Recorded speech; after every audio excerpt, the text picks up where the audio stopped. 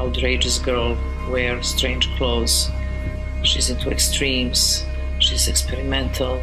She uh, have 43 million people on the Twitter following her, whatever she do, little monsters. And she came really very humble to my house and asked me if I can teach her. We made this workshop in the woods, and she was such a good student. She never cheated. She really went much farther than I asked her for. She is a limitless human being.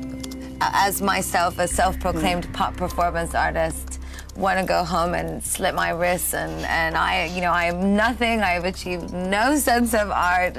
Uh, she is, she is so boundless. Kad čuju za, za, za performance, zbog Lady Gaga, odjednom su počeli da se interesuju za, za moj rad. Tako da je prešlo, prešla sam iz te, mislim, u mas kulturu, što je Marina Abramovic, of course, is in the Podesta emails, and she's